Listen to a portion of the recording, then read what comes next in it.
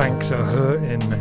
Poor things, not enough money circulating, inflation racing, and they ain't getting a percentage of someone else's purse strings.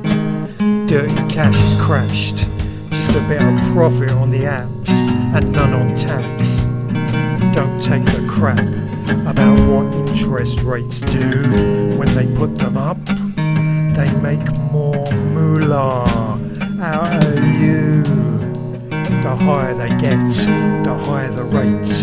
There's less left, and the more they make. Financial witchcraft of the worst kind. Mind rule of lizards over this earth of crime.